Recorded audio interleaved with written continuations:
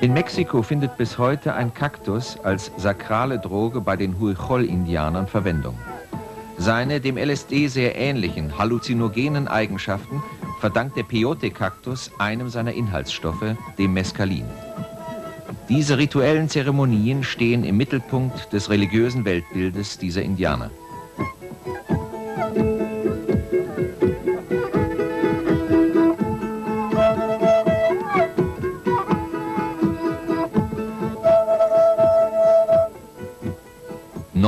Das Wirkungsbild von LSD also nur für den westlichen Kulturkreis.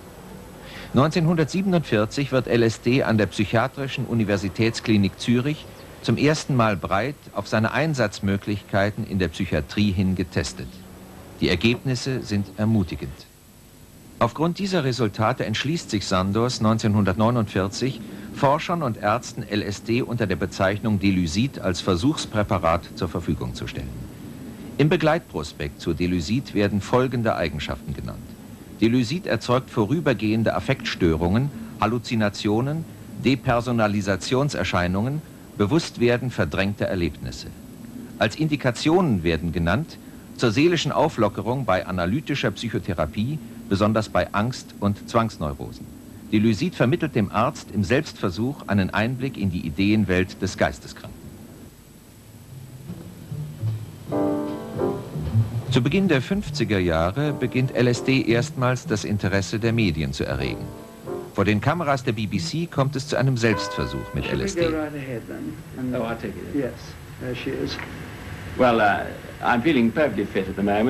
ich fühle mich gut und gesund wie immer und ich nehme die Droge jetzt.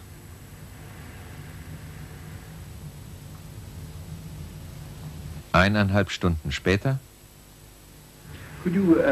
Können Sie uns eine besondere Farbe beschreiben? Die Farben da vor uns. Diese Farbe, wie soll ich sagen, verdammt, mein Wortschatz reicht nicht aus dafür. Sprechen Sie vielleicht von diesem rötlichen Vorhang? Ja, und er hat wirklich verrückte Ornamente. Uh, Und äh, das Licht, äh, Entschuldigung, aber ich kann es nicht wirklich beschreiben. Ähm, sind Sie äh, überrascht, wenn ich diesen Vorhang eher schäbig finde? Entschuldigung, aber ich meinte etwas anderes damit. Was meinen Sie in dieser Situation? Wessen Urteil halten Sie denn für das Richtigere? Ah, Jetzt stellen Sie mir eine Alles- oder Nichts-Frage. Ob ich aufgrund der Drogenwirkung den Vorhang eher so sehe, wie er wirklich ist, oder ob ich unter der Drogenwirkung Dinge sehe, die nicht so sind. Faszinierend.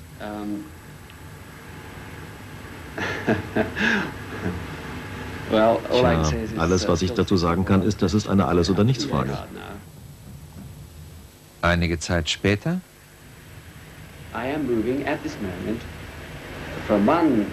ich reise jetzt von einer Zeit in eine andere und wieder zurück.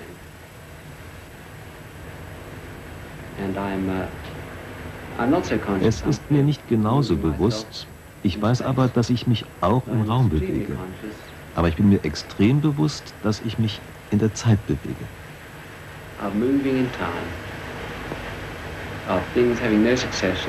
Die Dinge haben keine Abfolge,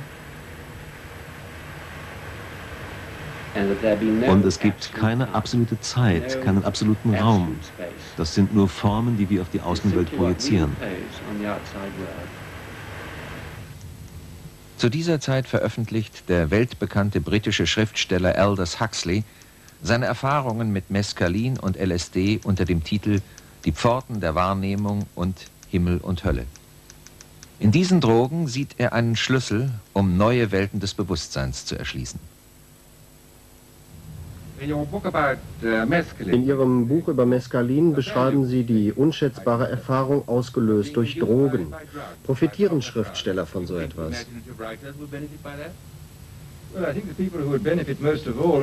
Am meisten profitieren würden Professoren. Für fast jeden, der glaubt, die Welt genau zu kennen, der fixe Ideen und ein klar festgefügtes Weltbild besitzt, für den wären diese Drogen sehr gut, um zu erkennen, dass die Welt, die er sich konstruiert hat, in keiner Weise die einzige Welt ist.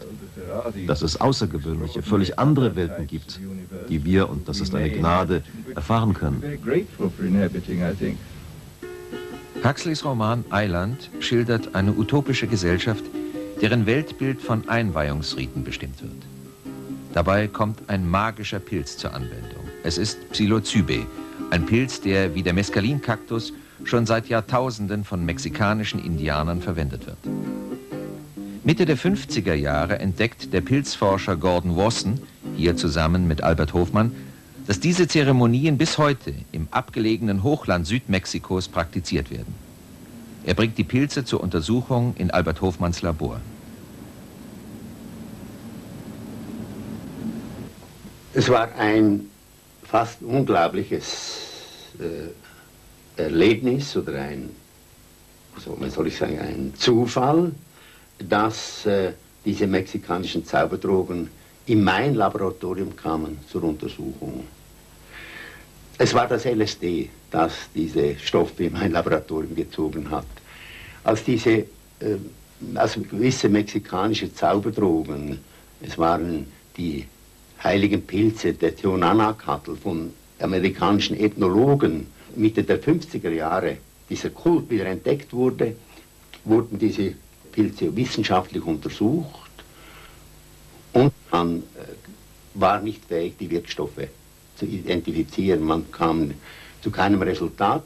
Und da hat sich äh, der Botaniker erinnert, dass in Basel eben ein Stoff, LSD, äh, entdeckt wurde und untersucht wurde, der dieselben Wirkungen hat, psychische Wirkungen hat wie, wie diese mexikanischen Pilze. Und er fragte uns an, ob wir interessiert wären, diese Untersuchungen durchzuführen. So kamen die Pilze in mein Laboratorium und wir waren dann erstaunt.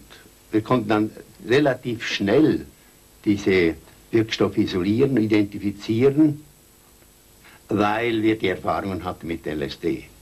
Und dann stellte sich heraus, und das war auch wieder ein großer Zufall, dass sie nah verwandt sind, strukturell, chemisch mit LSD.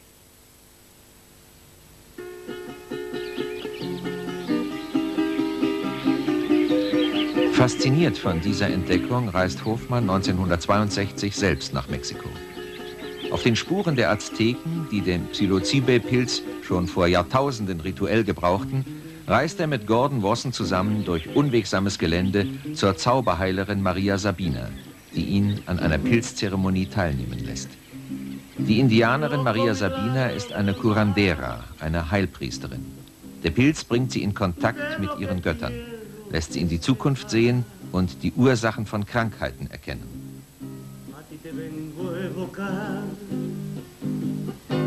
lugares de Pinotepa.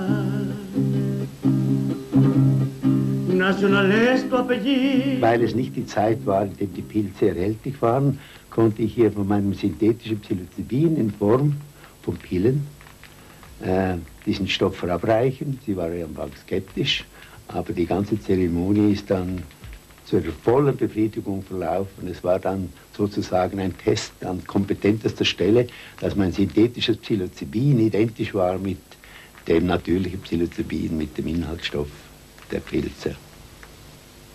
Wir haben dann nach den Pilzen als ich in Kontakt war mit diesen amerikanischen Ethnologen, die haben mir gesagt, es gibt noch eine weitere Zauberdroge, die auch noch nicht aufgeklärt ist wissenschaftlich, das ist Ololiukwi.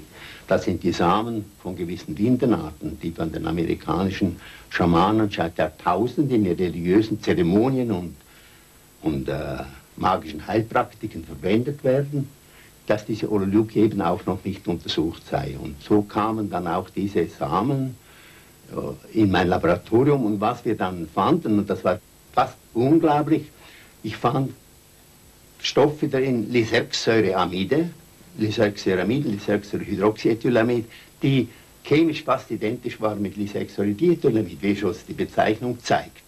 Also mit anderen Worten, es zeigte sich, äh, dass LSD, das man früher als Laboratoriumsprodukt eigentlich betrachtet hatte, eine zufällige Entdeckung, dass das in die Gruppe der mexikanischen sakralen Drogen gehört, was seine Wirkung, Wirkungscharakter anbelangt, wie seine chemische Struktur.